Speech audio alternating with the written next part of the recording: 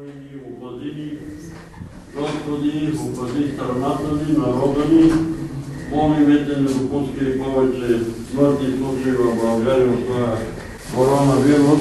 Ние вярваме, че това е бич Божий и наказание на този народ, за да се свестиме, да се опомним, да се стреснем, да се покаеме. И ние виждаме, Господи, че от най-големия до най-малкия хората взимат мерки, някои са много оплашени, други са по-малко оплашени, но ние знаеме откъде идва страха. Страха идва от греха. И затова ние те молиме, Господи, да благословиш домовете ни, да опазиш роднините ни, да опазиш сънародниците ни, където и да са по целия свят. Да, Господи. Молиме те, Господи, да спре този мор в България, да няма мор.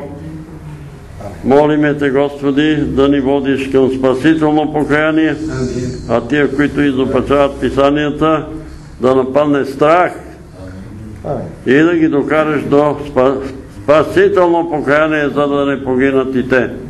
Понеже така казваш, Господи Исусе, че не е по волята на Твоя небесен Отец да погине нито една човешка душа, но всички да дойдем до покаяние. И затова ние сега идваме при Тебе до покаяние, каеме се за всички грехове, които сме извършили от малки деца до днес. Амин. И те молиме да ни поръси с Твоята кръв, да ни очистиш, да ни простиш греховете. Ние от сърце прощаваме на всички, които са съгрешили против нас. Почитаме, обичаме родителите си, но се отричаме от греховете им. Господи, ние те молиме, ако върху нас има клетви, заклинания, проклятия, магиосничества, разруши ги и унищожи ги, Господи. Защото Ти ще разрушиш делата на дявола. Ние се отричаме от Сатана, от духа на Антихриста, от духа на лъже пророка и те молим да ни опазиш от Сатана, да ни опазиш от духа на Антихриста, да ни опазиш от духа на лъже пророка, да ни опазиш от лъже брати, лъже учители. Господи на силите и те молиме сега и цари телата ни, и цари душите ни, и цари духовете ни, и цари домовете ни, и цари България. Слава да бъде името. Халилуя, слава да бъде името Ти. Господи, да няма повече смъртни случаи. Това е нашето желание, но да бъде Твоята воля. Поклон на святото Ти име. Амин. Като каза да спре хора в България, тича едно улично Силата За България? За спиране на мора в България тича едно мършово сило улично. Е, това е демон. духовна дезинфекция. Отче наш три пъти на ден. Обаче да се цитира и да се казва с вяра. Ако се демонстрира без вяра и се изпее, дали ще има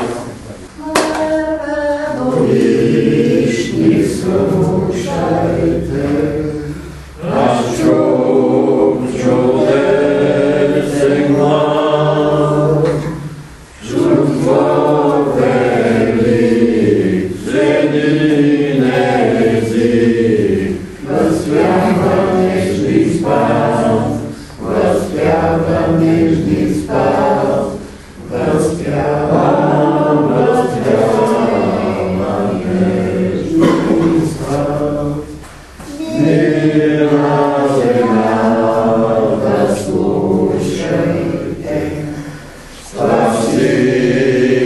José.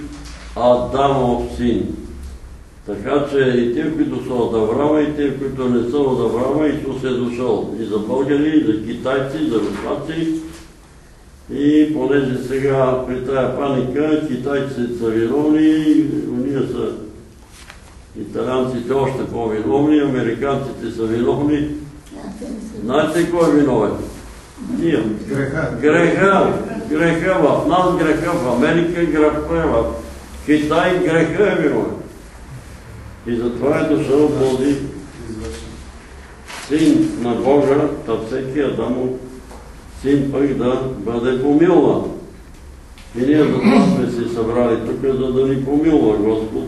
Амин. Да се смили над нас. Амин. Да спаси душите ни, да ни прости греховете. Казвайте. 337. Ей, възкръсна наши спасари, Ей, земя, стъжествен глас, Алилуя. Ей, възможно,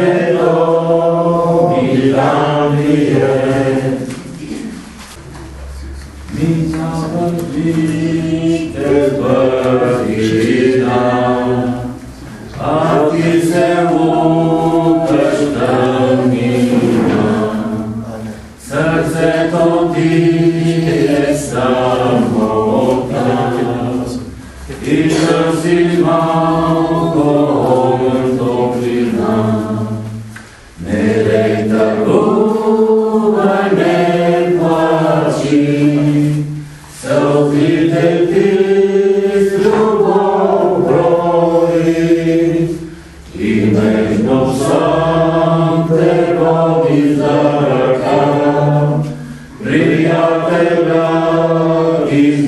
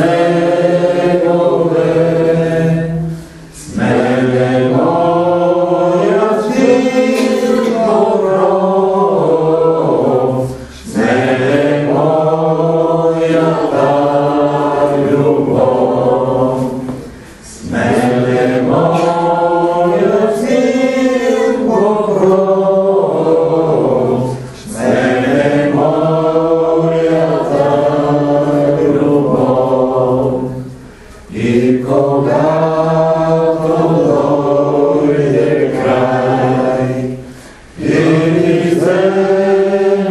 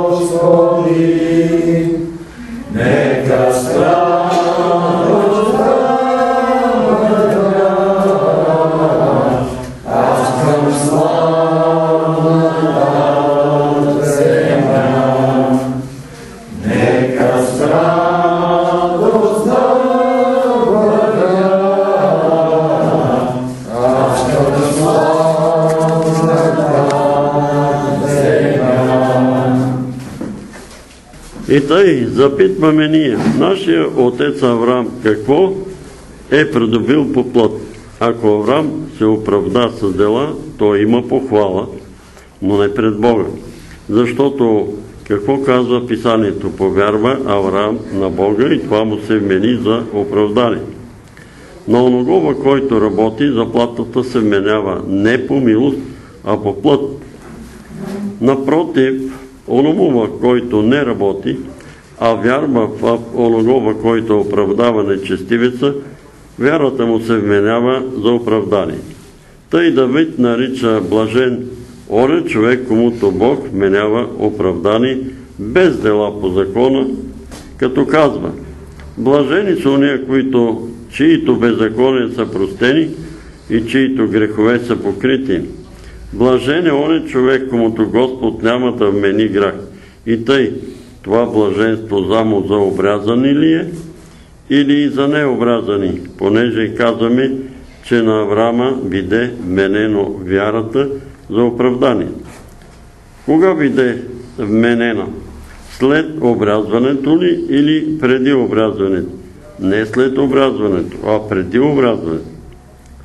И знака на обрязването той получи като печат на оправданието чрез вярата, която имаше преди обрязването си, за да бъде отец на всички необразани вярващи, тъй там да се вмени оправданието. И отец на обрязаните, ала не на уния, които само обрязване са приели, но които и вървят по стъпките на вярата на отца ни Авраама. Що имаш той преди образването си? Защото обещанието към Авраама или към семето му да бъде наследник на света се даде не чрез закона, а чрез оправдаване посредством вярата. Ако привържениците на закона са наследници, вярата е обесилена и обещанието унищожено. Защото законът поражда гняв. Дето пък няма закон, там и няма и престъпление. Затова оправданието е от вяра, за да бъде по милост, тъй обещанието да бъде заздравено за всички не само по закон, но и по вяра потомци на Авраама, който е отец на всички ни. Според както е писано, поставихте баща на много народи пред Бога, комуто той, повярва, който животвори мъртвите и зове несъществуващото като съществуващо. Авраам без никакво основание за надежда повярва, с надежда, че ще стане баща на много народи. Според казаното, тъй многобройно ще бъде семето ти. И без да отслабне във вярата, той не помисли, че тялото му е вече умъртвяло, понеже беше току речи 100 годишен и отробата Сарина е в умъртвение.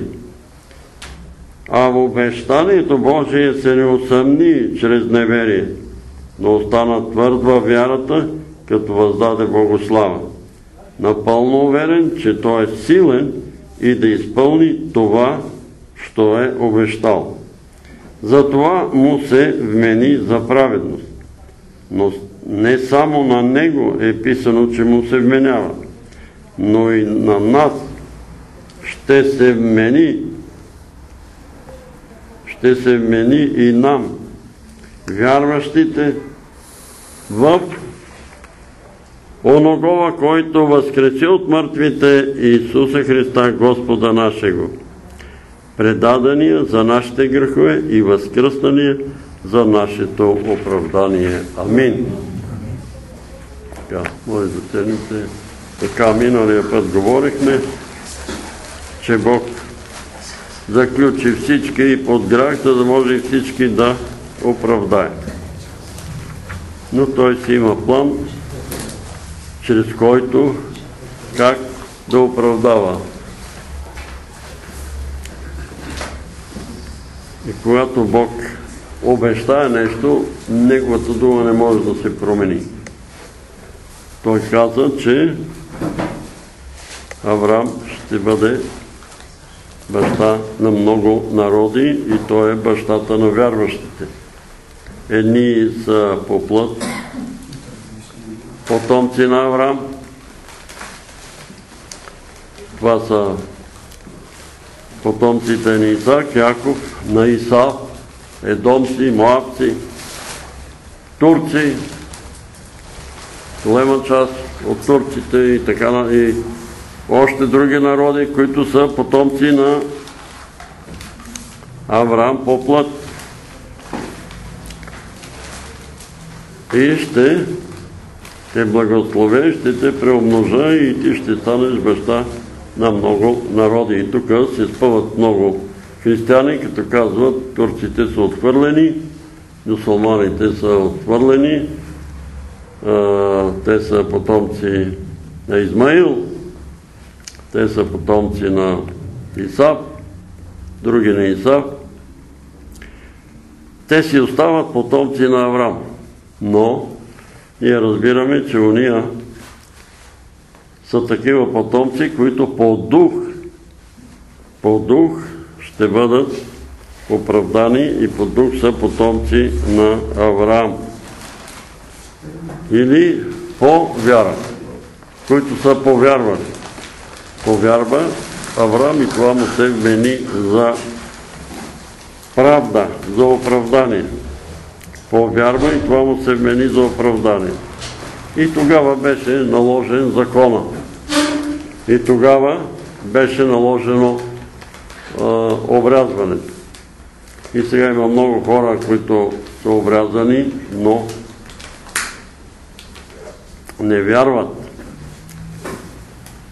Макар, че са обрязани, но пък има, които са обрязани и вярват. Затова образването и не образването не е от най-големото значение, но най-големо значение е вярата, че ние се оправдаваме даром чрез Господ Исус Христос. Даром получаваме прошка на греховете, ако вярваме, че Исус е умрял за нас.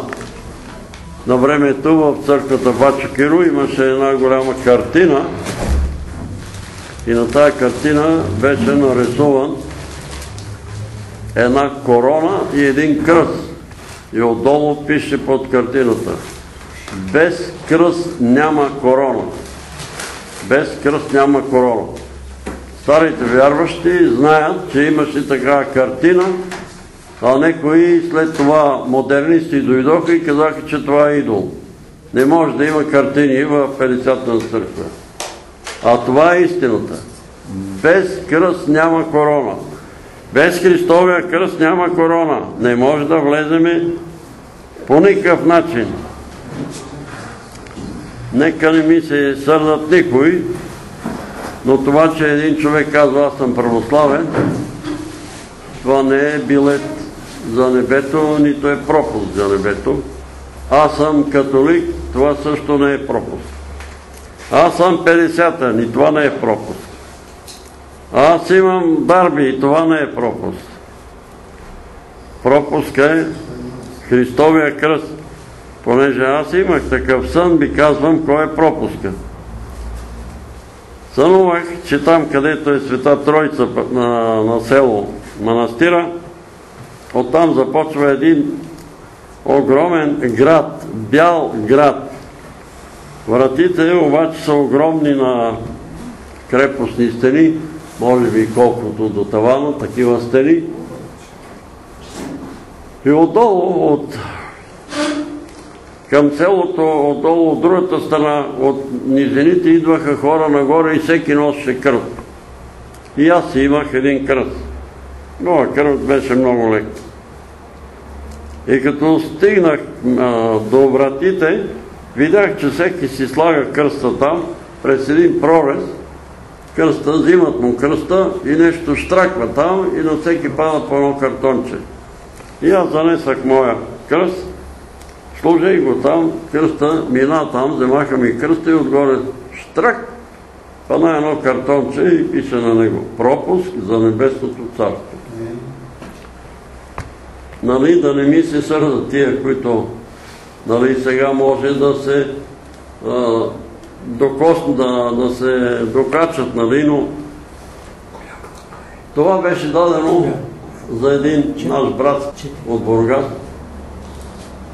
който дойде тая сутрин у нас и спа у нас и аз му разказах съня и той на другия ден отиде и се разведе с жена си. Но аз не ви казах една подробност. Че тая нощ аз сънувах, че Стефан идва отдолу и вика, брат Петре, намери един кръст, бе, намери един кръст. Ами викам, как ще намеря, бе, всеки си носи кръста. Никой няма да си даде кръста. Да, къде е твоя кръст? Еми не знам, нека да го загуби. Това се отнасяше за него и той на другия ден отиде и се разведе. О, развежда. Викам, защо се развежда? Казаха ми от църквата, че се видели жена ми, вика, в една градинка се е целувала с някакъв там. Абе, на клевети ли са?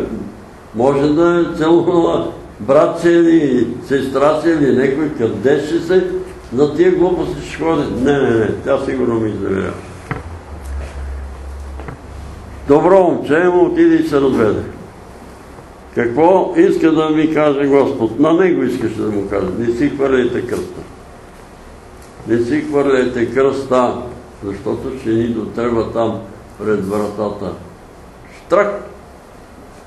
Пропуск за небесното царство. Какво значи да си хвърлиме кръста? Ами това, което имаме тук проблеми с вярата. Че те уволним от работа, ти трябва да се откажеш от... Може да направиш компромиси, може да приемеш нали, това, може да приемеш онова. Но това не означава, че ние, като си носиме кръста, не сме съгрешавали.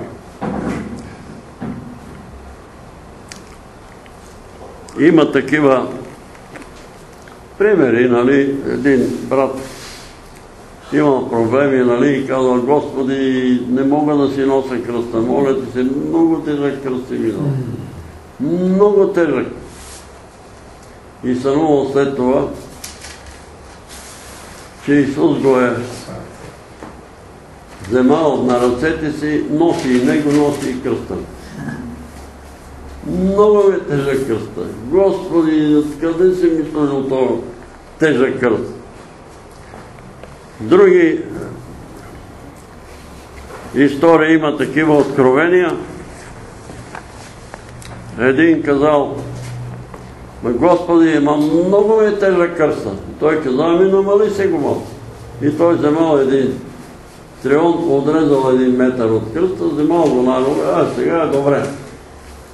Добре, вас стигат до една река, трябва да минават реката, всеки си слага кръста, минава отгоре по кръста и уминава от другата страна. Той слага кръста, един метър не достига. Аз сънувах такъв сън, че брат Христо ми даде една талпа пред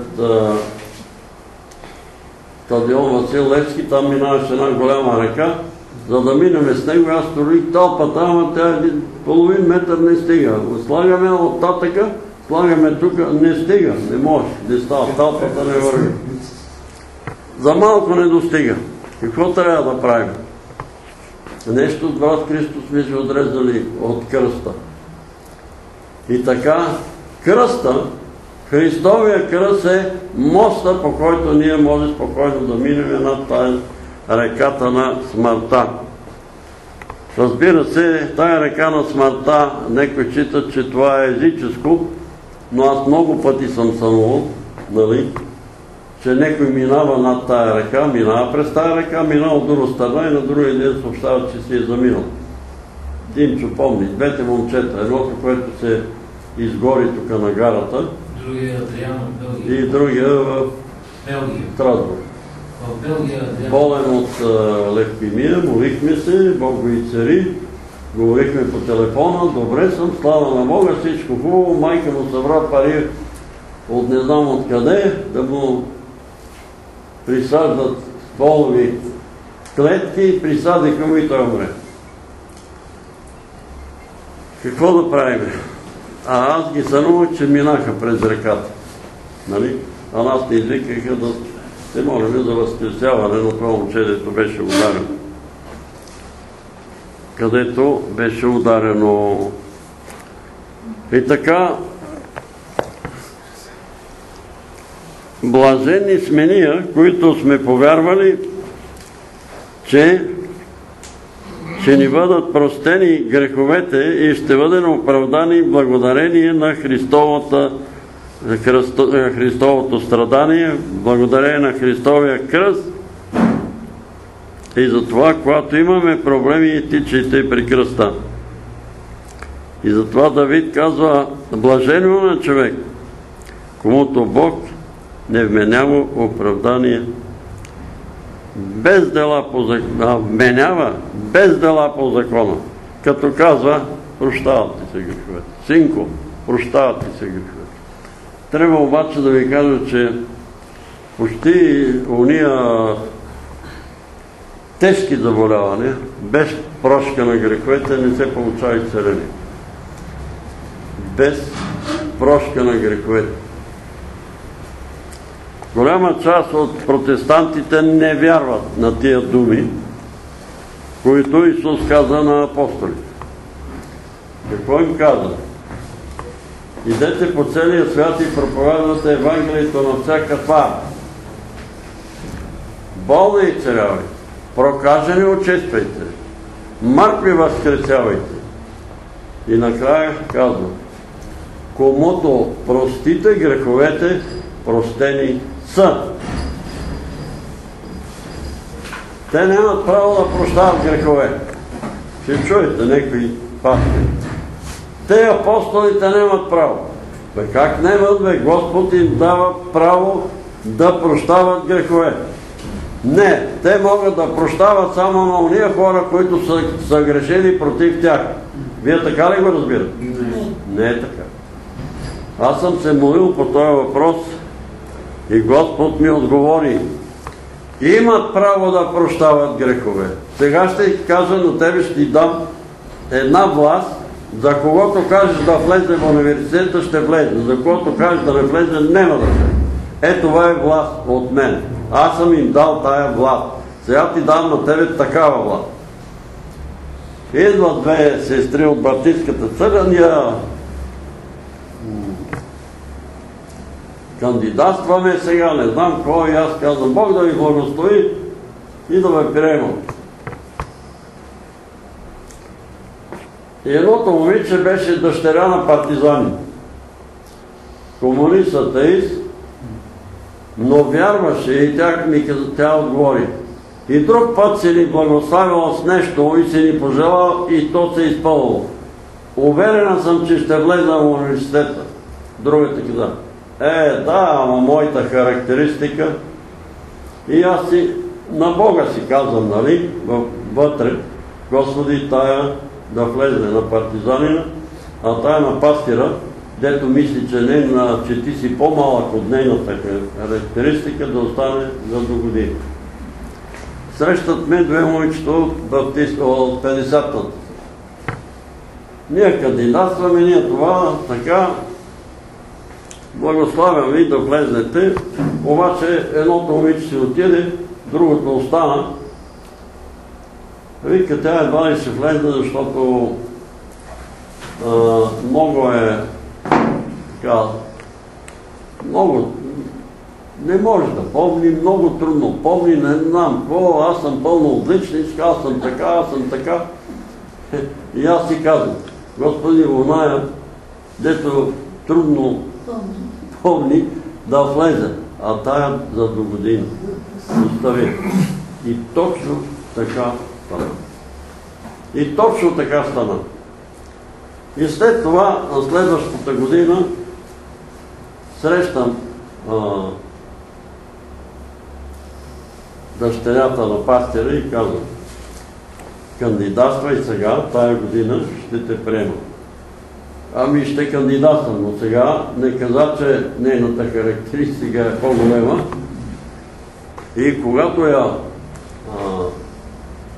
приеха, Тарче при мен и вика, знаеш какво стана? Какво? Приехаме.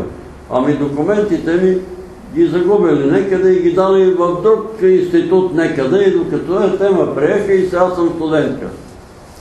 И изведнъж се обръщах, а ти откъде знаеш, че ми приемат? Викам от тоя, който си мислиш, че е по-слаб от твоята характеристика. Какво искаш да кажеш? Абе, момиче, ти знаеш ли какво е Бог? Характеристика. Бог ще изрини характеристики и такова, като каже да влезе, ще влезе. И от тогава съм казал на много вярващи, аз съм си казал да влезе. Но ако някой почне да се перчи, аз съм така, аз много знам, каза Господи този за година. И точно така става. Разбрах, че апостолите са имали тая власт. Синко, прощават ми се греховете, стани и ходи. Защото без да се простат греховете на човека, той няма да стане такова. Без да му се простат греховете. Но кога може да каже апостола, прощавате сега? Кога може да каже свещеника, когато ти се прощаваш греховете? Когато изповядаш греха си. Греших, блудствах, прелюбодействах, крадох това, изповядаш си греховете и изповедникът ти казва, в името на Отца, Сина и Светия, тук прощавам ти грех. Той няма право да прощава. Да, ама има право. Да, ама има право. Разбирате ли? Блажени са уния, на които греховете са покрити. Кои? Които изповядат греховете си. Изповядат и ги оставят. Признават греховете си. Нали, оня път ви казах, какъв беше цар Давид? Великият цар Давид. Убиен и прелюбодеец. Прости ли му го? Прости му. Ама обезвини ли го? Не каза. Ти си невинен. Не си невинен. Но блаженни сме, защото ни се простиха греховете. В Неговото име, ето пеехме тия песни, благодарение на Неговите страдания. Блажен е он е човек, комуто Господ няма да вмени грях, защото Неговия грях е покрит с кръвта на Господ Исус Христос. И това блаженство се отнася и за обрязани, и за необрязани, и за евреи, и за неевреи, и за елини, и за всекакъв човек, който падне пред Бога и каже, съгреши Господи! И това оправдание ще му се вмени кога? Когато изпада греховете си и затова съм уверен, че този мирен договор не е даден случайно. Нали? Преди близо 40 години ми се даде този мирен договор. Изповядайте греховете си, отричам се от Сатана, отричам се от Антихриста, отричам се от лъжи пророка, отричам се от врачки, гледачки, баячки, карти, таро и така нататък. Отричам се. И Господ ти дава шанс. И ти дава шанс на всеки човек, който пожелае да сключи мир с Небесното царство. Но от сърце. Това е едно, само това условие. От сърце, не формално. Ако формално го изпее, няма ефект. От сърце се и казва, съгреших, това направих, откраднах, излъгах. Прости ми, Господи! И Той е готов да ни прости. И така, на тия, които не са обрязани, необразването им се вменява за образване чрез кръвта на Господ Исус Христос. И тук за образването, което Господ каза след, след като получи обещанието, нашето образване, казва апостол Павел, също той изисква едно образване Господ и това образване на сърцето. Това, което Джон Остин казва, делата, праведните дела не могат да ни спасат. Без спасител. Но праведните дела са абсолютно задължителни за онея, които са спасени. Праведните дела трябва да показват, че човека е спасен.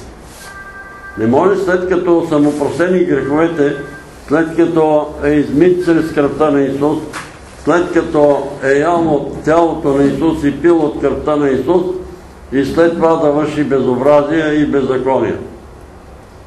Ще последва наказание. Един ден, като говорех така, между нас идваше един атомен физик, работеше в БАН. Той седеше до прозорецата. И когато говорех така, той ме прекъсна и каза, ха, делата. Ми аз вика, дойдох тук, пих от кръвта на Исус, ядох от тялото и след това отидах на проститутка. Знаете какво стана той? Прибира се вкъщи, удра майка си и убива майка си. И оттам затвора от затвора психиатри. Какво трябва да правим след това?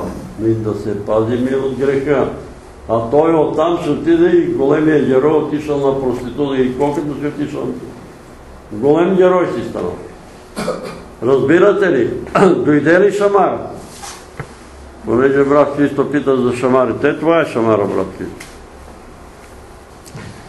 И смя се, присмя се на кръвта и на тялото на Исус, ето аз го направих и отива на проститутка. И колкото отиде, удари майка си и уби майка си. Атомен физик. Има ли значение за Бога атомния физик или министър-председателя или някой за него какво значение? И професор или някакъв какво е, какво представлява за него? Така че това обрязване, което се даде на Авраам, това е белег, това е белег за това, че той е получил обещанията и че тия обещания се отнасят за цялото му потомство и не само за потомството, но за хората, всичките му слуги, които беха в неговия дом. Че те ще получат това обещание чрез вяра и че те са вече усиновени от Авраам. И ние можем да кажем, че сме усиновени чрез Исус и наш баща е Авраам. Едно, тя може би ми се сърди, но една сестра се молила, Господи, аз искам в небето, където е Петър Велев и аз да съм там. И се молила редовно, всеки ден, искала да бъде където е Петър Велев и тя да е там. И накрая Господ ти отговорил и казал, не може да бъдеш където е Петър Велев. Петър Велев ще бъде при Аврам, а ти ще бъдеш при Филип. И ме пита какво значи това. Защо Петър, Аврам, Велев ще види при Аврам? Защото Петър Велев ходи на небето и Господ му каза, понеже си приел приятелството, приятелството на моя единроден и възлюблен син, затова те обикнах и ще ти помагам. Авраам какъв беше? Приятел на Бога. Ние какви сме? Приятели на кого? На Исус. Едно дете даваха тук по тая телевизия на Благовест Белек, като чело Стария Завет и като слушало за Бога, много се страхувало от Бога. Много треперало и се страхувало от Бога. Един ден, както си седело, изведнъж настанал мрак нещо, аз точно не го запомних всичкото, но от този мрак идва една светлина, сърбриста светлина и го залива целия и го вижда, не някакво видение там, някакъв образ и чува. Защо се страхуваш от мен? Аз съм най-добрият ти приятел. Това беше някакво свидетелство на някакъв голем евангелизатор. Аз съм най-добрият ти приятел, защо те е страх от мен? Ама и аз също съм се страхувал от Стария Завет, като че тебе какви наказания върху Израел, какви... Ама и сега се страхуват много хора от тази коронавирус, треперат, нали? Такъм, да не влезе някой в Народно събрание, да занесе влезе какво ще стане България пред народни представители, ако ги пане, еми, България ще оцелее и без народни представители, и без министри, и без генерали. Ще оцелее. А защо ви е страх? Откъде идва страха? Страха идва от а, Едемската градина. Адаме, къде си? Тука съм, ама е страх. Защо те е страх? Да не си ял там от дървото, дето ти забрани да едеш. Еми жената, която ти ми даде, тя ме накара да ям. Нали? Тя ми ромна жената. Защо си го накара? Защо си му дал да даде? Защо те е страх? От що ни е страх? От греха. Ако няма никакъв грях в нас, как ще ни е страх? Ама ще те убиеме. Убивате ме, отивам при Бога. Убиваш при Бога. Ама ще умреш. Еми умирам. Тялото умира, душата отива при Бога. Нема страх. Защо сме се паникьосали? Ами защото сме грешници. Затова. Сме се паникьосали. И така това обещание към Авраам се, отнася към неговото семе, неговите потомци по плът, по плът всички потомци на Авраам.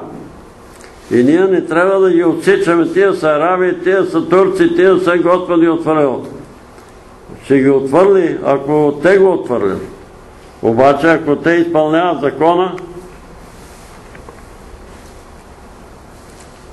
колко останаха в Турция болните от коронавирус? Пет, шести, но няма нито един умрял. В Турция няма нито един умрял. От тази огромна държава. А знаете ли защо? Защото България е на първо место в Европа по извън брачни деца. А Турция е на последно место. В Турция извън брачни деца са 3%, а в България 50%. Виждате ли разликата в греховете? А да не кажем колко са в Италия и колко са в Франция. Толкова. 50-60% извън брачни деца.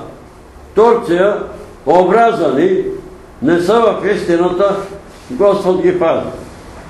Защо? Не са в истината, ама спазват закона. Спазват, те са под закон. Е, по-добре ще бъдат, ако са под благодат. Нали? Ще бъдат под благодат. Но аз съм сигурен, че тия деца, сега този там шефа на тази болест, забравих му името. Каза, че... Мутавчийски ли? Не, не е Мутавчийски, а другия, как се казваше. Каза от комитета, от коя... Не комитета, ми как се казва, дето е... Занимават Штаба, се. штаба. Пеленачетата и децата интересна работа не боледуват от този вирус. Ама не каза защо. Пеленачета и малки деца не боледуват. Защо? Защото нямат грях, бе, хора. Пеленачетата нямат грях. Затова не боледуват. Има ли значение греха? Ами има, разбира се. А тия пеленачета, които са родени извън брачни, те какво са виновни? Нищо не са виновни. Виновни са родителите. Но техните родители, ако се покаят, ако извикат, милост Господи, съгрешихме пред Тебе, зло сторихме, родихме извън брачни деца, молиме Те да ни простиш. Поръсини с кръвта на Исус, Отче святи и правени, ще ги поръси и ще ги приеме. Защо? Защото който дойде при мене, никак няма да го изпада вън, първо и второ. Мой отец не желая да погине нито една човешка душа, но всички да дойдат до покаяние. И затова това бедствие Господ казва на хората, опомнете се хора, елате при мене да ви спаса, иначе виждате какво става. И така ние, българите, езичните, се оправдаваме не по дела изискани от закона, а се оправдаваме чрез вярата, по милост. По милост. И така ставаме осиновени, осиновени от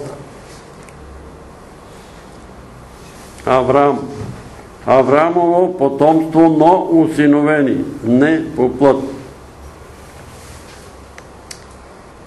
Ако му повярва, тях, които повярваха, те ги оживотвори.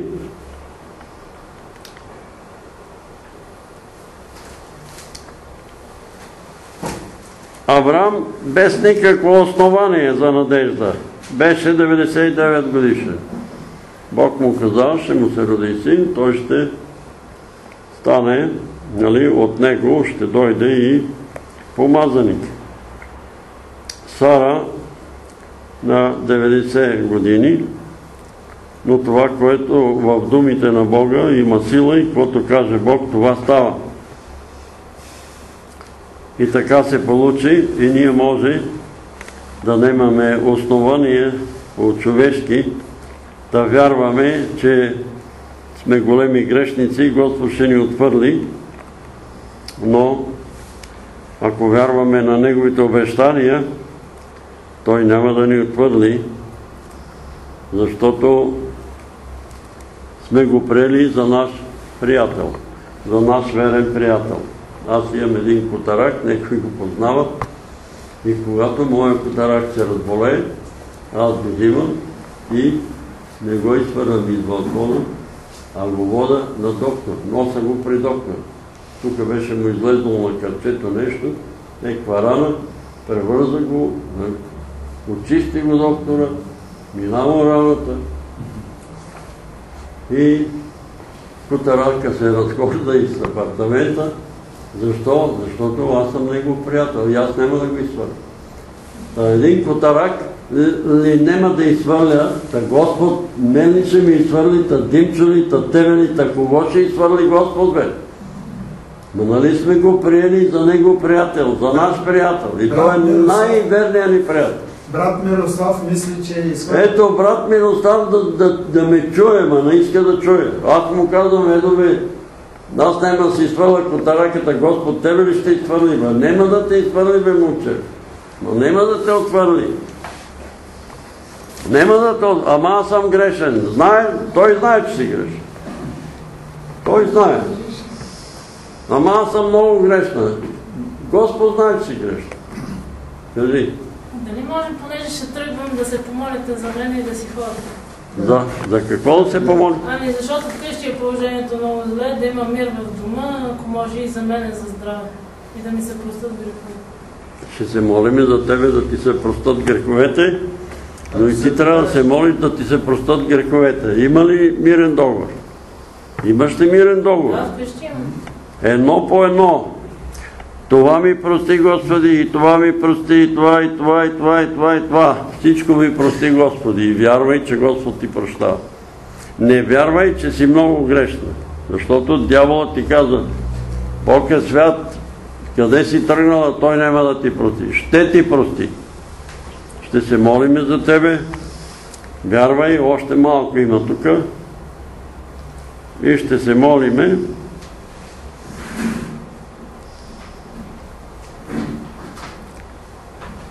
И така Божиите обещания не могат да се отменят. Апостол Павел пише до римляните, че след смъртта на усиновителя никой не може да промени усиновлението. След смъртта на усиновителя. Аз съм усиновен от моята Леля, сестра на, на майка ми, Леля ми и Войчо ми с непълно осиновяване. Непълното осиновяване означава без да си променяш името, оставаш името на баща ти, но ставаш наследник на Леля си.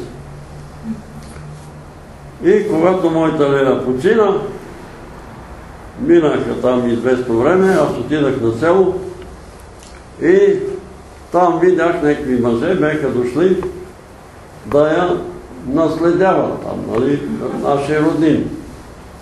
И осиновлението едно е такова липче, е толкова големо, нали, едно толкова големо липче, на което пише осиновявам Петър Иванов, Цветанов бех тогава, после ме смениха. И съдя Еди кой си, печат на окръжния съд и аз давам там бележката на чиновничката. Тия хора беха дошли да вземат нали, там къщата на баба на Лелиана. Давам бележката и там чиновничката. А, еми ето го наследника на баба Анове. Ето го наследник. И ония хора, айде, иди, закъса и си отидат трябва да имаме такова удостоверение, че сме усиновени. Трябва да имаме това удостоверение, че ни са простени греховете. Тя е права. Трябва да се молим за нея. Господа и даде уверен, че са и простени греховете. Всеки един от нас трябва да усети, да знае, да вярва, че са му простени греховете. Трябва да има такова свидетелство. Прочетете, четете, върнете се за тия много хубави книги на Джон Банян пътешественик. Идва един пред вратата на и го пита ангела, имаш ли свидетелство? Имаш ли свидетелство, че са ти простени Нямам. Айде, махай се.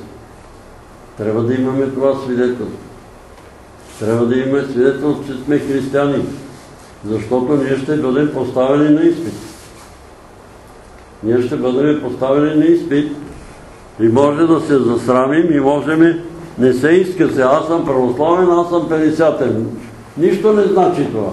Аз съм 50-тен или аз съм конгрешанин, няма никакво значение на небето. Нали? Аз съм християнин. Аз съм християнин. Вярвам, че Исус е Син Божий, умрял за моите и твоите грехове. Когато ме питаше майор Николов в Държавна сигурност, не ме питаш, а ми казва, от утре на тебе пастир ще ти бъде Павел Иванов. Викам, Павел Иванов на мене няма да ми бъде пастир. На теб може да бъде пастир, но на мене няма да ми бъде. Как така няма? Ето така няма да ми бъде пастир. Кой е твой пастир? Моят пастир е Господ Исус Христос. Е, да, да, ама тук на земята имаш некъв пастир. Моя пастир е Господ Исус Христос. Исус е... Абе, кой е той Исус? Вика, той не е съществувал. Исус Христос е смисъл и съдържание на моя живот. Ха-ха-ха-ха! Било смисъл и съдържание на неговия живот. Това е моето свидетелство. И аз отивам на вратата на Рахи и казвам Моя пастир е Господ Исус Христос. Моя учител е Господ Исус Христос. Моя Господ е Исус Христос. Аз вярвам, че Той е умрял за моите грехове. Аз вярвам, че Той е възкръснал за моите оправдания. Това е нашето свидетелство. Не, аз съм 50-тен, аз имам дарби, аз имам, имаш дарби, какво ще е да имаш. Ако нямаш свидетелството, че Исус е Твой Господ и Спасител, и винаги, когато ние се пречисляваме и ядеме кръвта на Исус, и пиеме, ядеме тялото на Исус и пием кръвта на Исус, ние свидетелстваме, че свидетелстваме, че Исус е нашия Господ и Спасител. Но когато казваме това не е кръв, това не е тяло, това са символи, това не е свидетелство. Такива, които пият символи, ще ги попита Господ на вратата ангела. Ядохте ли кръвта тялото на Исус? Пихте ли кръвта на Исус? Не, ние ядохме и пихме символи. Е, щом сте яли пи символи, вратата е затворена. За символи не става дума. Ето кой ни спасява и ето кой спасява обрязаните по плът и необрязаните чрез вяра. И едните, и другите. Сега ние миналия път говорихме, имат ли предимство наследниците по плът на Авраам. Имат. Имат, само че ако по дух това нещо не се потвърди, немат. Какво е предимството на тия, които са потомци по плът? Те имат обещание. Бог е дал обещание за тях, че Той ще ги приведе, че Той ще ги гони, ще ги притиска, за да може те да повярват. Но в крайна сметка никой няма да вкара на сила в рая. Защо? Защото Исус е обещания по плът от Авраам. Обещания Спасител и помазан. За съжаление и Юда Искариотски е от същото коляно, от Юдовото коляно. Нали разбирате какво означава? И Юда Искариотски е от същото коляно на Исус, от Юдовото коляно. Докато другите апостоли не са от Юдовото. Какво искам да ви кажа? Ако ние последваме пътя на Юда, може да си загубим обещанието.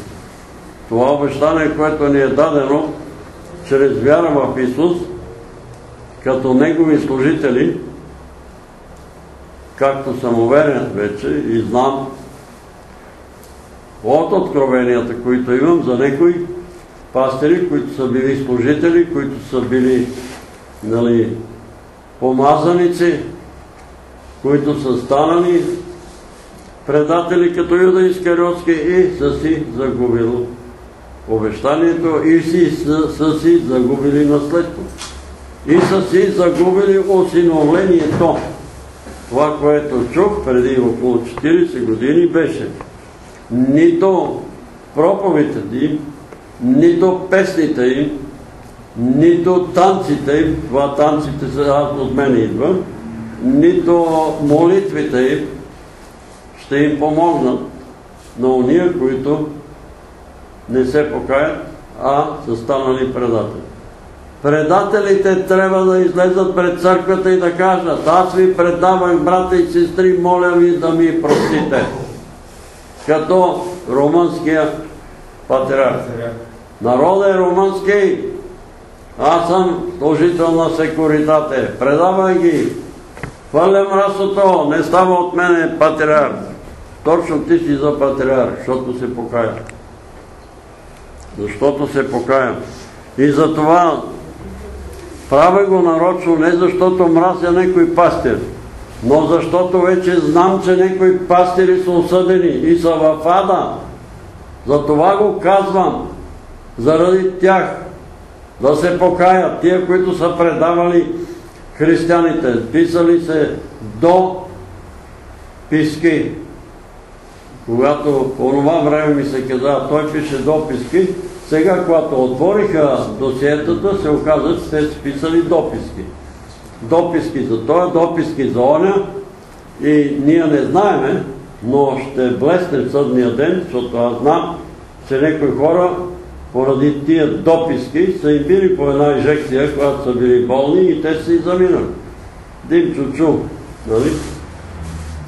Като се, че отиваше тази бивша медицинска сестра, наредиха ми да отида да бие една инжекция на един мъж и той веднага почина. Та инжекция е била, каква е била? Да го ликвидират.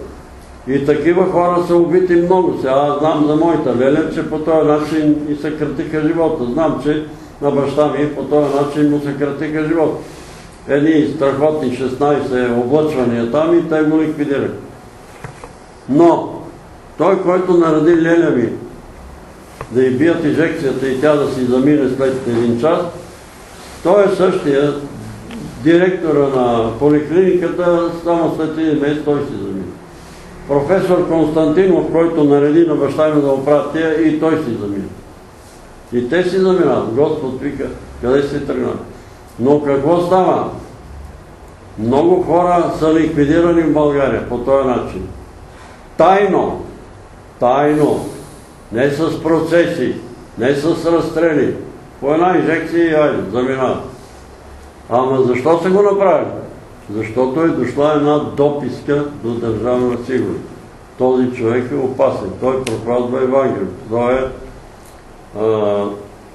развива трескава религиозна пропаганда. И тия хора си казват, и какво толкова съм направил? Аз съм се покорявал на върховните власти. Нали пише апостол Павел да се покоряваме на върховните власти. И върховните власти казват,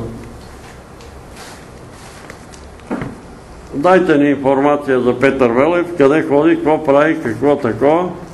Ето ти информацията за Петър Велев. Петър Велев коленичи Хаджи Димитър да се моли в среда и в гърба му прас, прас, две инжекции и след това Петър Велев се намери горе на стъкленото море от престола на Бога. Обаче Бог каза, върни се обратно. Лягай си на леглото, от тая страна чува. Дишай! Я. Бех станал, бучка лед, почнах да се тръкам, бех стинал и ето ми сега стоя пред вас. Това беше преди 76-та година, колко?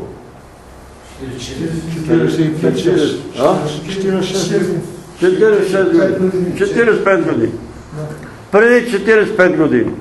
То, за който написа дописката, след същата година, когато ме простреляха, той си зави.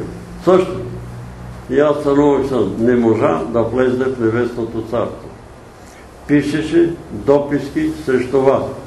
Дописките натежаха на везните. Осъдене. Брат Иван от Герман го сънува. Носът го едни дяволи, той му каза, никому не каза, че съм осъден, че не съм спасен. Баба Радимова го сънува. И го пита, как си там? Никога не съм очаквал, че Исус е толкова строг. Никога не съм очаквал, че Исус е толкова строг. Как да не се очаквал, Исус каза на Юда. Той е човек, за него беше по-добре да не се е раждал. Такова ще бъде наказанието. И той го чу, Юда го чу. Чу ли го Юда? Един от вас ще ме предаде. Той е тук с мене на трапезата. И тук има спорове, нали, ние с Панчо разглеждахме там, защото нали, Царство и небесно, тия пастири си отидаха. Ама ние изследвахме и видяхме, че на Тайната вечера Юда Искеротски е участвал в Тайната вечера, хлеба е бил квасен и не знам кое. А Исус, каза на Йона, на когото затопя от блюдото и му дам. И след залъга влезна Сатана в Юда и той отиде и го предаде. От блюдото натопи.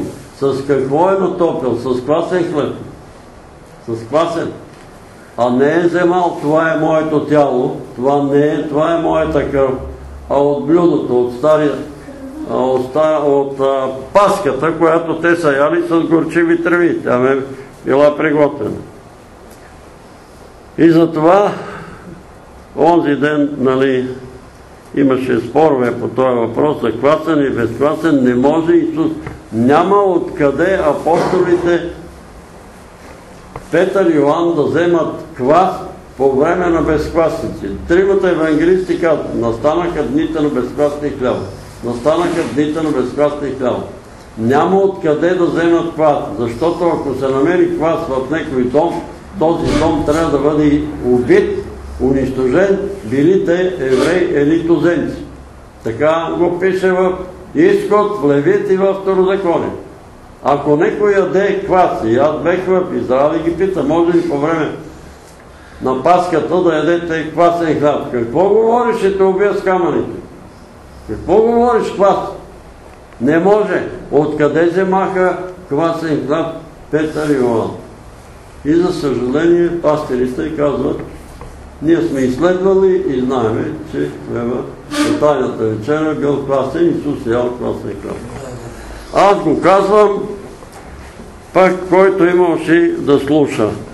И така, както чрез престъплението на един човек дойде осъждането на всички човеци, така чрез смъртта на един Божий син дойде спасението на всички човеци, които повярват.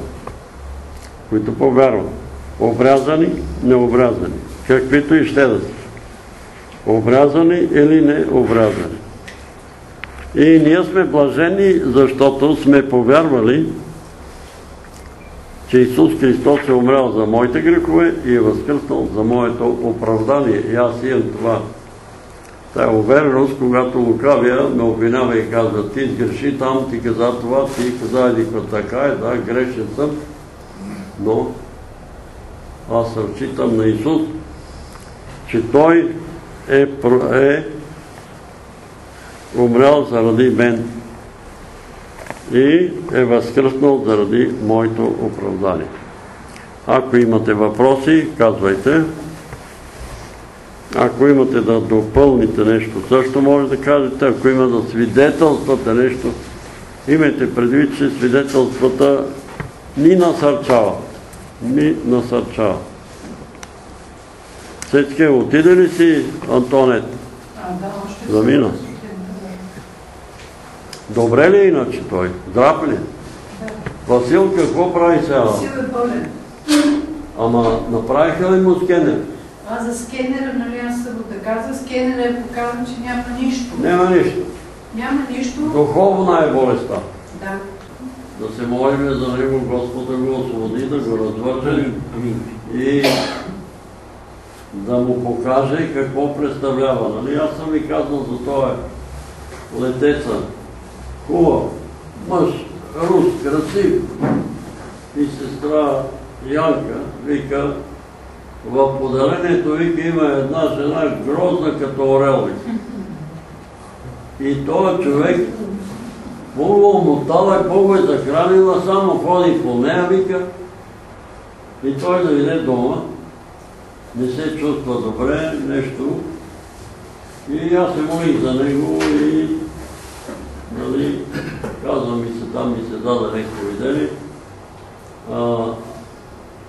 ако не престанеш да... Не. Грехът е прелюбодейство. Ако не престанеш да прелюбодействаш, ще умреш. И той вика, е, да, да, задирам жените. Задирам жените, хубавец един такъв.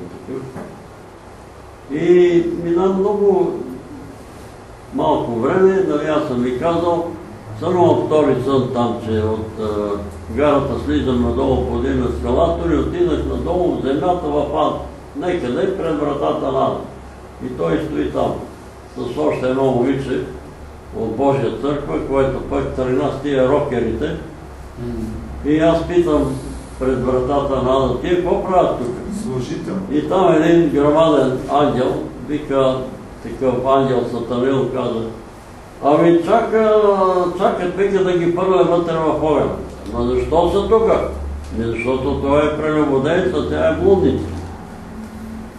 И един негов приятел, тъв щаб, иранец ли беше, от Ирак, баща му от Ирак, дойде дома с една дрежка, молихме се, помазахме, занесе дрехата при нея и дава тази дрежка от брат Петър Белев се молихме, да облечеш, Бога да те цари. Не ме интересуват никакви дрехи, оди ми извика еди кой си приятел, там от тия рокерите И Дълшат казва, както си говорихме, изведнъж тая жена започва да крещи и да вика. Ужас, ужас, ужас! И издъхна. Ужас! Ето, осиновена от Бога, от Божия църква, отстъпила, отишла с уния там, иска, нали, така ще се случи и с Васил. Повярвал, нали, защо ви казвам тия ви ги повтарям, повтарям, повтарям и моята мила сега само се повтаря, сега и същите работи. Ще ги повтарям, за да може да се опомним, да се свестим, да разбереме, че пътуваме за Ада, да я зареже тая врачка ли е, гледачка ли е, каква е, да бяга за живота си. Не, той няма никаква връзка с нея. Той няма, но той там работи по, по, по ВИК. Той работи при нея. Не при нея, просто го викат при В хора, които осъзнават, че е бил ВИК и, взима и мечи. Но и непрекъснато го търсят. Виж Той там работи, но не е с Така е. нея. Така е. Обаче имам един приятел, който беше го магиосала една такава ръжалица. И аз сънувам сън, че тя го е вързала за единия крак и го влачи така за едно лъже и го закара на магистралата и отдолу идва един рейс. И му казах съня. И той изказа всички връзки и се махна от нея. Така и него го грози опасност. Трябва да му говориш и ние да му говорим и да се молим. Работата е много сериозна, загива една душа. Нема нищо да му помогне. Той си идва, взима си от Господната, взима си от кръвта на Исус, взима от тялото на Исус и миналата година, миналата година, беха изцерени около 10 души от рак. Аз сънувам сам, че една жена ме среща, брат Петре, слава на Бога, аз съм изцелена, бех болна от рак, Бог ме изцели. И в това време отгоре слиза един мъж и стои във въздуха. И ми показва една разписка. И ми пита, какво е това? Това са парите, които са дали роднините на изцелената от рак за църква.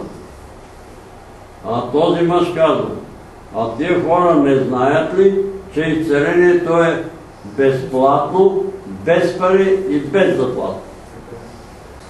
Затова не давайте пари след като сте изцелени от тумори, от рация, дайте жертва на хвала. Благодаря ти, Господи, благодаря ти. Това е достатъчно. И така, за Васил, ще се молиме. Господ да я смъмре. Еми такава, нещо такова беха направили на Румяна, на моята племени. Аз отивам от тях, когато се разболя. Втория път.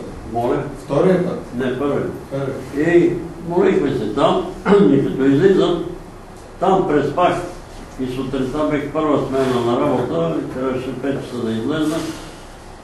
И като хванах вратата, залепи ми се ръката за дръжка. И гледам надолу по столите, бега една руса такава хубавица. И аз като бъда, стой, магиосница, стой! Ма тя бега да изгледа, че е спортистка ли, не мога да. И се обадих веднага, като будих сестра ми, а, не пипайте вратата. И вършете го това всичко и хвърлете го в реката или в огъня. Занимават се, ето, какво е това? Престъпници, сатанисти. Сатанист. А сега? А сега? Защо ги е страх? Къде бега? Ще ги настигне Не греха, това да се стига. Нали, казва там пророк. Сключили сте съюз, вика, с смъртта и с ада. Къде сте тръгнали? Ще ви намерим, в ада ще ви извадим. Горко им, горко им, защото съсипат семейства, карат под проклятие. Може би оттам идва нещо върху Антуанет, идва нещо и върху Иво и тия нечестивци, Господи ги смъмре. Пръскай с светена вода, ще се молиме за целия дом. Добре, ще се молиме за Лора, Сега за Димитър ще се молиме, за Божидар и за Роси Ганева. Тя остави тия, какви бяха маските. И тя има проблем. Господ да я опази, много се оплаши да и тя от този вирус, маска, нищо. Това, не, е- това са мерки, които ги взимат хората, не, не ги, няма защо да се чудиме. Нека да ги... Но тя иска да ходи в болницата нещо, посяе страх в този момент точно, да мине малко и ще се молим за нея. За брат Димитър да За мен е за Бога да ни изцели от немощи, има малко немощи, така да ми даде сила и ума и не ми е бил така атаки да ми даде Христов, Христов ум да обнови ума ми, да съм по-добре с ума и с силите. И също и на мене ми правиха магии такива едни, тия къде продаха наркотици в квартала и ми пишат там на вратата 666, а, пречупени кръстове, хитлеристки, не знам за какво си. И пак едва не мога да ги изтрия. Взимам белина, ацетон, какво ще от- отвънка това, което е 666, това не, не може да те докосне. Ема развалеца на вратата ми го написали на. Защото то ти трябва да го препиш. А теб да ти на, нарисува целият с 606 враговете, това не може да ти повлияе. Ти трябва да се походиш на духа на Антикрист и да го приемеш. Ясно, но Това те е си ги правят тия магия, ако, ако Не нямаше се файда, нямаше да ги правят. И няколко пъти аз ги стриям, Абе, нещо да пак ги напиша. измамери тия пречупени кръстове. Явно, че Три-четири пъти ги пишат, аз е, всеки трием там, такова си изтъргах Да, да, на да. Не разбират какво вършат за себе си, какво на себе си правят с Не това. правят пълно на себе си и се не си дадат сметка какво правят. Не се молим за Бойка, за брат Саша от Горна Оряховица, за брат Марко, не знам там живелица, какво става всеки. Господ да ги помилва. Емилия, добре ли е майка? Лора, Еми, историята, по се държиме, ама... добре. За други има ли? А, там за Ели. Баща ви е по-добре, краката са по-добре. За Димитринка, презвитера. Да, да. Господ да се смили над нея. Тя, тя сега по-рано е била малко по-операна, ама сега се е смирила, чете а, изцеление чрез вяра, Да. има и мирен договор при нея. Дай Боже, а, така ми се обади една сестра от Варна, по пътя бехме, пътувахме, впечатлена от последната проповед. За това, което говорим е, че Господ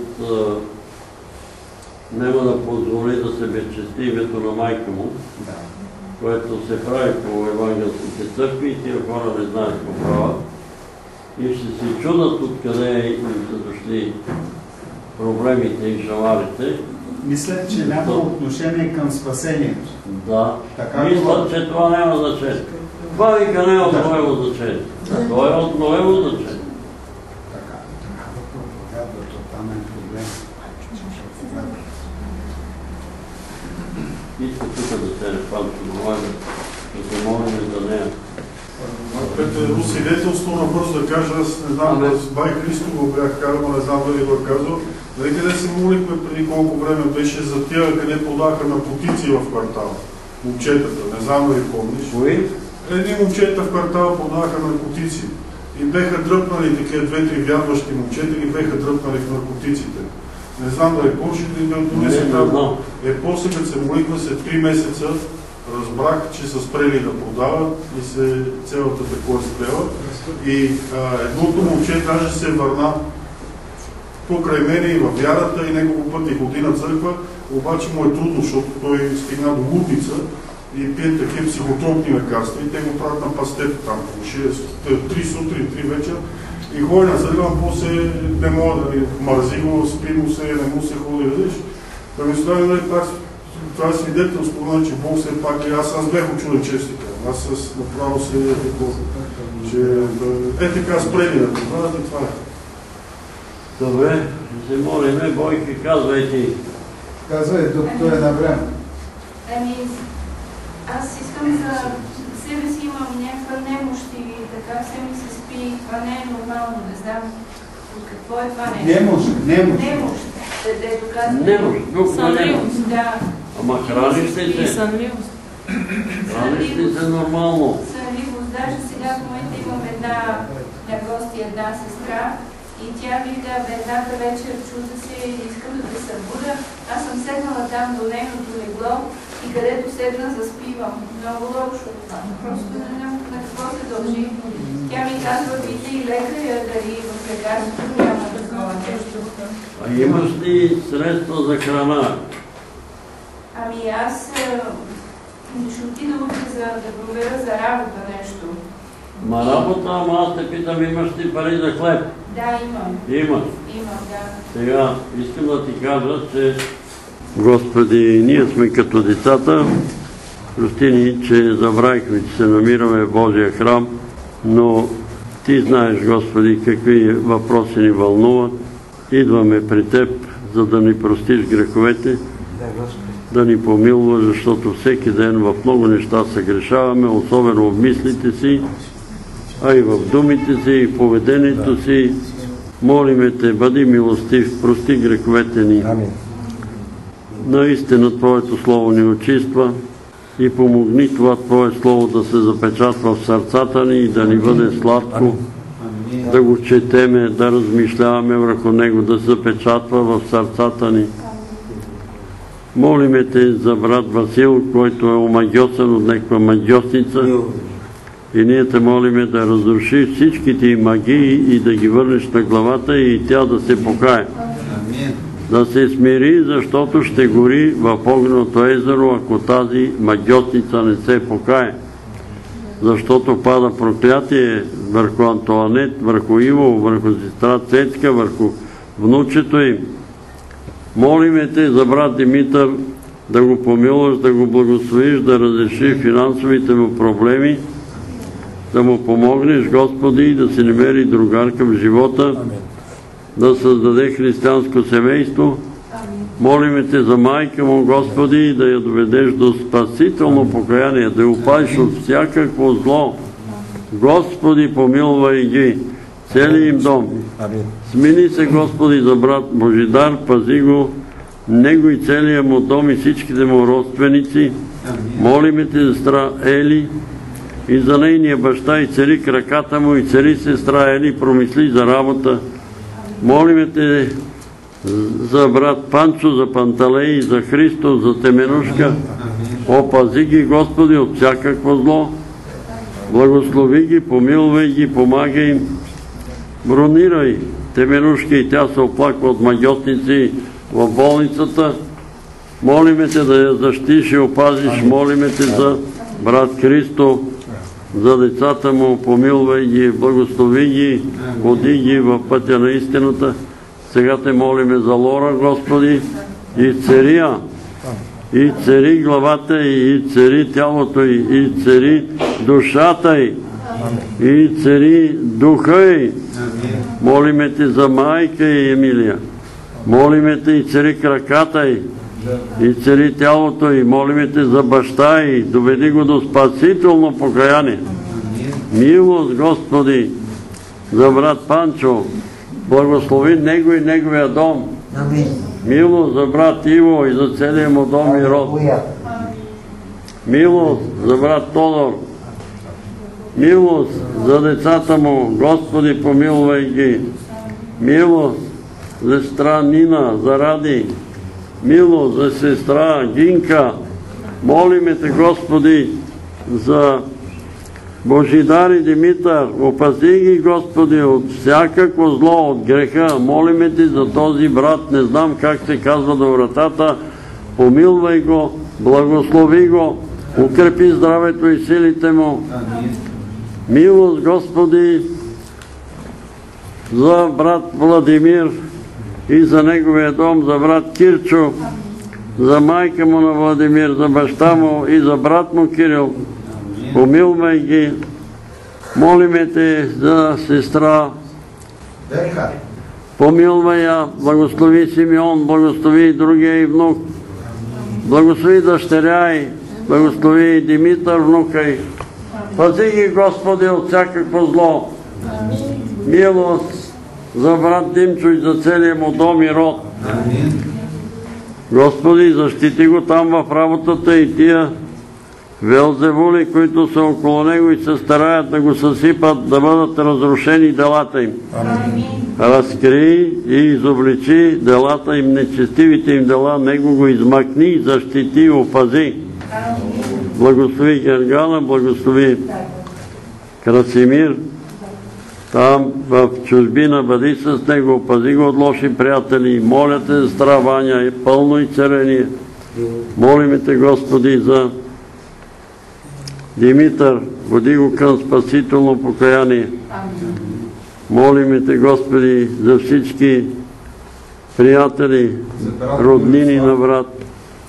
Димчо, молиме те за неговия колега, за неговите колеги, вярващи. Бъди с тях, с домовете им.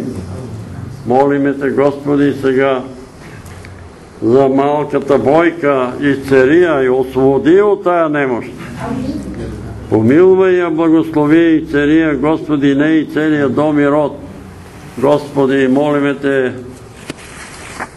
за сестра Лили Петрова, за изцеление от всичките болести и немеща и за защита от всяко зло и от нечистите и сили. Молиме Те за брат Тодор Стругара, за пълно и царение от всички болести и немощи. Сега те призоваваме душе на истината, святи душе, дойди между нас в името на Господ Исус Христос, посети ни със силата си отгоре. Алилуя! Ела душе святи! Ела душе святи! Алилуя! Мини от темето на главите ни до петите ни и изгори всяка болест и всяка немощ. Алилуя! Действай в името на Господ Исус Христос. Изцерявай премахвай кашлици, хреми. Изцерявай, Господи, главоболия, синузити, гастрити, колити. Изцерявай бели дробове, изцерявай алвеоли, изцерявай трахей, изцерявай Господи, черни дробове, жлъчки, изцерявай кости и стави, отстранявай немощ, дух на немощ напусни телата на Божия народ. В името на Исус, ела душе на истината с сила отгоре, изпълни децата си с сила, да се разпръснат всички болести, зли и нечисти духове от телата ни, от домовете ни, от родствениците ни. Господи, смили се над народа ни, смили се над църквата, смили се над Твоя народ, над чедата Ти, Господи. Молиме Те за уния Твои деца, които са по болничните легла. Изведи ги, изцери ги и спаси ги, които са по домовете болни. Изцери ги, спаси ги, изцери ги, Господи. Слава да бъде на името Ти. Молиме Те, Господи, опази ни от тоя демон на коронавирус. Опази всичките Твои чада. Молиме Те, опази България. Милост, Господи, да няма повече смъртни случаи от тия двама. Молиме Те, покажи милост над България. Смили се на този сиромашки народ. Смили се над народа ни, Господи. Слава да бъде името Ти. Благодариме Ти, славиме Ти и Те величаваме и Ти благодариме за храната, за облеклото, за въздуха, за топлината, за водата, която имаме в България. Слава Тебе! Алилуя! Слава да бъде на името. Господи, слава Тебе! Сега Те молиме за Димитринка презвитерата. Изцели я, Господи! Изгори този демон на рака в тялото й. Да умре този демон и да се разсипат всичките му образования и тя да бъде изцерена за Божия слава. Господи, помилвай ни, слава да бъде на името Ти. Моля те и за моята сестра, укрепи здравето и силите и пази да не се отклони наляво и надясно. Молиме те и за моите племенници на мои братовчеди, децата им, Господи, голям род сме ние, Ти знаеш, моля те да ги благословиш Нина и брати, и семейството, и синовете им, и роднините ни, Господи, и всичките роднини на нашите брата и сестри, които не са повярвали, привлечи ги към себе си, които са повярвали, опази ги и благослови ги. Слава да бъде на името Ти. Молиме Те, Господи, благослови България. Господи, опази България.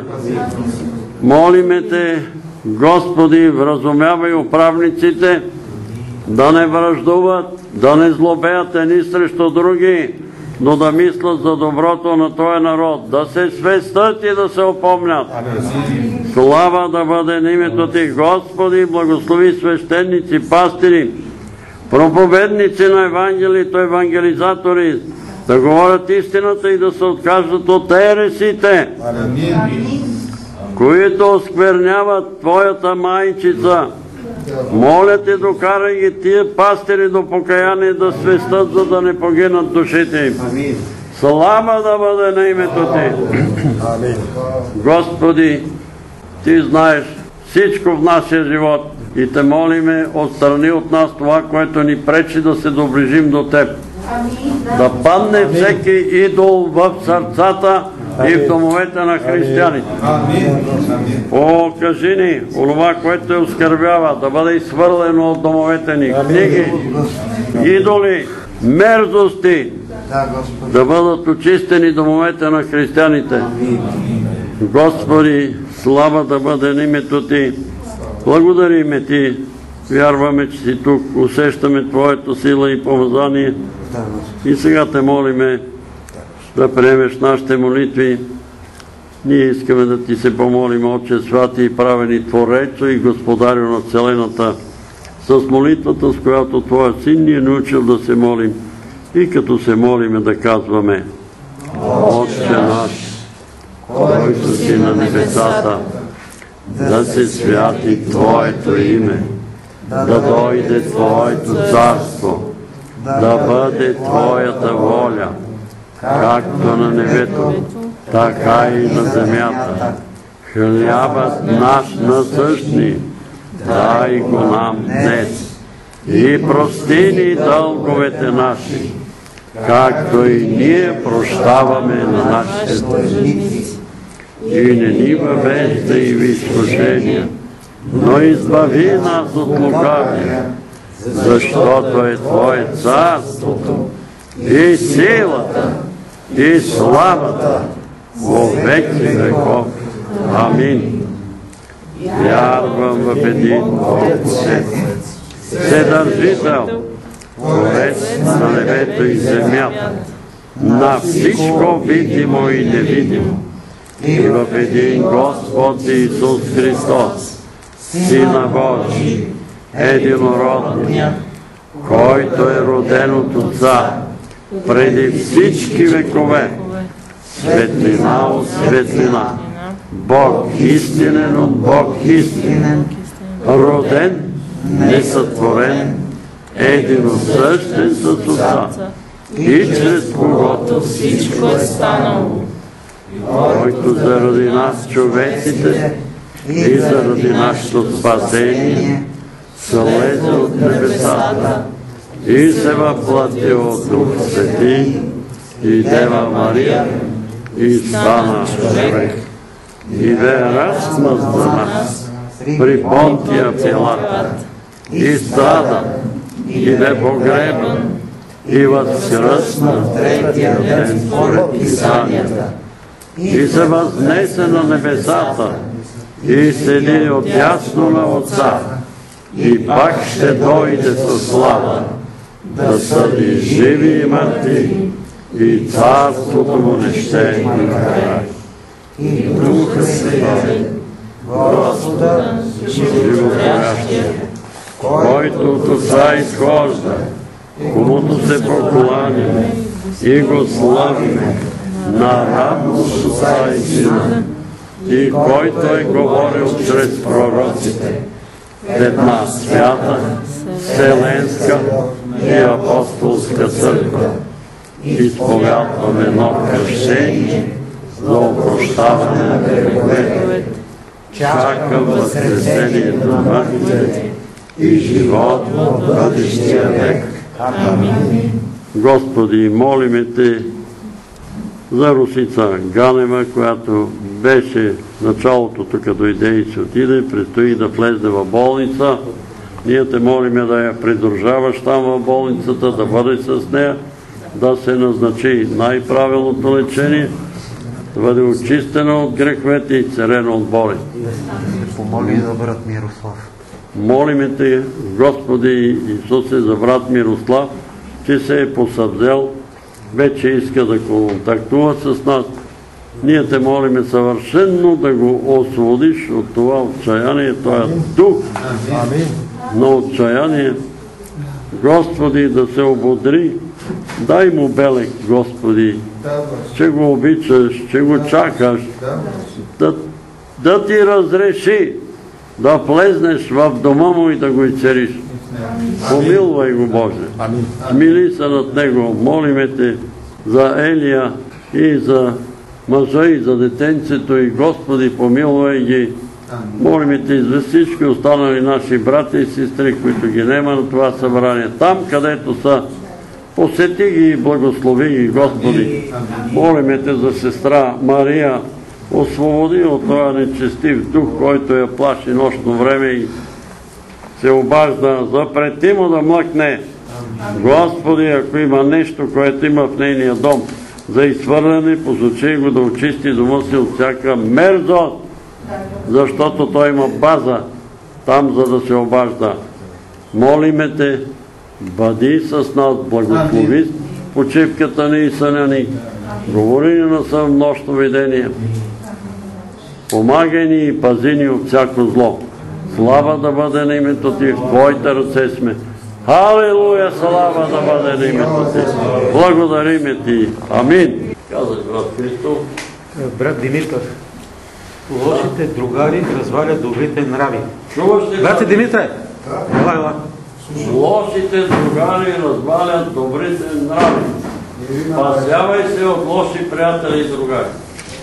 Когато призва ела душа свет и дойде благодат. А в същото време си мисля, ете нали ние сме доправили сърцето си, който сме казал, ще дойда, ще направя сърцето ви дом. И ние пак го викаме, значи, молиме да ни прости и пак да се върне. Да. Ние трябва да го викаме всеки ден. Ти казваш, че Бог ти е казал три пъти на ден отче наш. Какво значи? Да, добре, че ме подсети. Изповядам, че аз самия не го правя това. Трябва да го правя пък, карам другите да го правят. Значи, да говориме с Него, защото Той е в нас, когато ние разговаряме с Него. Сега, аз нали, слушам, говори се против папата, че той е антихриста, той е не знам какъв. Знаете ли какво каза по-предния, по-предния папа? Тоест предния, не това. Кога Христос ще бъде с нас и в нас, нашите доме? Когато сме съгласни да бъдем заедно с Него. Когато, кога сме заедно с Него?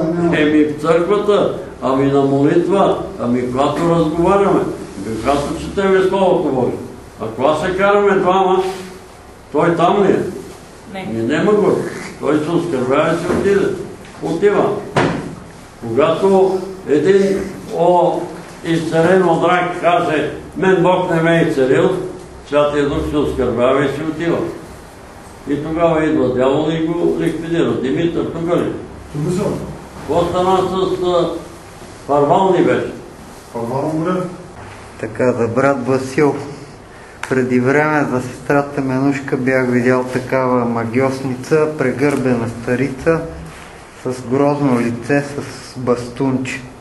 Е същото виждам за брат Васил. Магиосница или магиоснически дух. Това направи това. Нощни казаха. Она вечер беше. Арестуваха някакъв ходжа, разтура магия. Ама Панчо е тук. Идва от Франция. негов колега, майката на негов колега е болна, болна от рак. Мъжа е полковник, какво беше? Пловдив, помниш ли? А, да. Пловдив. Молиме се ние за тази жена. Той ни посрещна така малко недолюбно, нали, полковник. И попи цари. Мина известно време и Панчо казва, она жена пак се е разболяла. И аз отивам и питам, сега ме посреща много учтиво, нали, мъжа и Викам, какво направихте? Вие сте направили нещо, за да си загубиш ти царенец. Нещо направихте, отрекнете ли се от Бога? Какво направихте?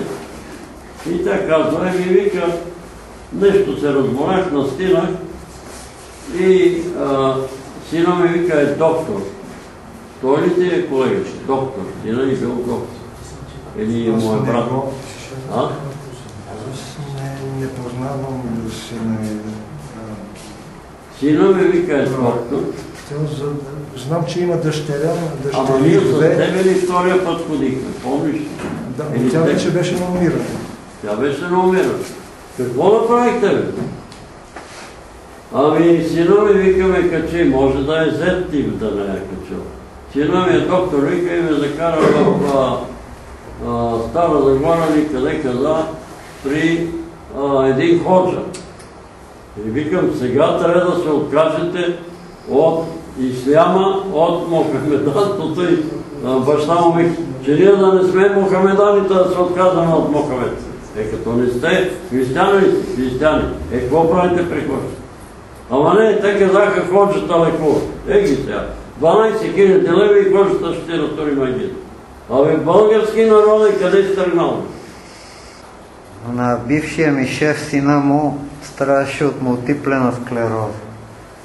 И те са го завели пак на ходжа, да, той ми каза. И три дни, три дни след това сина му така падна и така се беше потрошил, че едва го спасиха. Нещо операции му правиха, чудеси и сега ходи с проходилка, с разни други неща. Трудно ходи, с бастуни, но аз му казах, идете в църквата да се помолят за него, да се очисти от тия неща, защото това просто, викам, не е допустимо такова нещо. Ако сте християни, пък и да не, да не сте християни, това няма да му помогне. Ето, веднага наказанието беше дошло след три дни. Но тия ходжи, те трябва да четат Корана. В Корана е писано против врачки, гадатели, магиосници, а те се занимават с тази работа. Но какво се чуди, един ще ви каже, тук в Орландовци. в Орландовци. Отиваме и седаме там в една сладкарница и Димчо пита, е, един свещеник седи там, нещо ни чепи по един сок, нещо. Да. Кара, ще го чепа. Може и да седеме до тебе, да, Димчо вика. Абе, ти занимаваш се с магиотниче.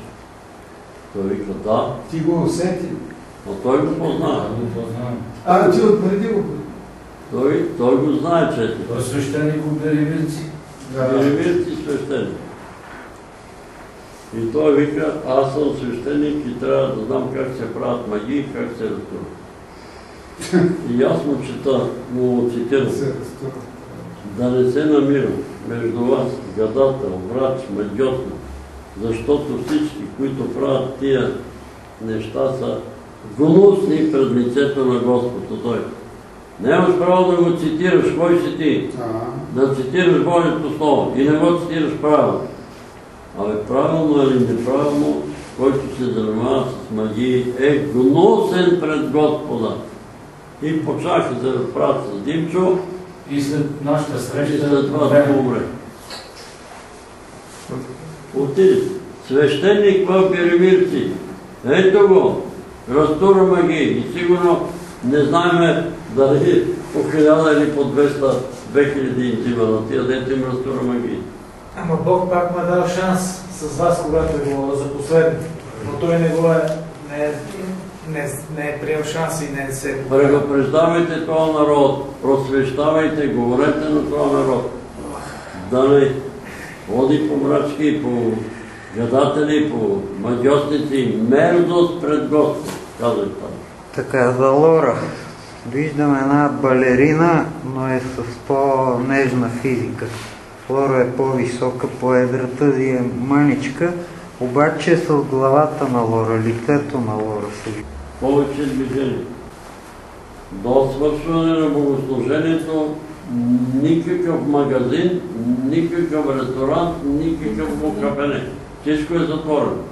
Като удари камбаната, нали, че пуска църква, тогава се отварят кафенета, отварят се ресторанти, тогава. И това нещо сега го чухме от едни журналисти, е в Швейцария. Отиват те в Швейцария, в някакъв град, не знам кой беше, и вика, те са загубени тия швейцарци, сутрин няма къде да пиеш едно кафе, всичко е на църква и затворени кафенета, затворени кърчми, ресторанти, а те вика по църквите. Те са загубени, нали? а те нашите журналисти са много намерени. Добре, казвай, брат. А, така, за брат Димчо. За защита виждам един голям танк. От най-големите възможни. Брониран Просто сте брониране, да. А за неговите колеги виждам икона на Исус Христос. Дало се покажа. За изцерени от различни видове болести. Значи виждам една зелена морава тучна и една водна пръскачка пръска и напоява ливадата с чиста вода. За верните християни да не се безпокоят от зараза с коронавирус. Горко на онези, които вършат а, магии, занимават се с ереси и с всякакви други. Васил. А, за Мирослав прелетя военен изтребител. Дай Боже да има победа.